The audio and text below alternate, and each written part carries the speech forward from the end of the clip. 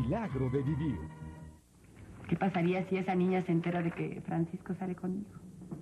Si alguien le abriera los ojos. Uy, la que. Sería divertidísimo, ¿no crees? Hortensia, ¿qué estás pensando hacer?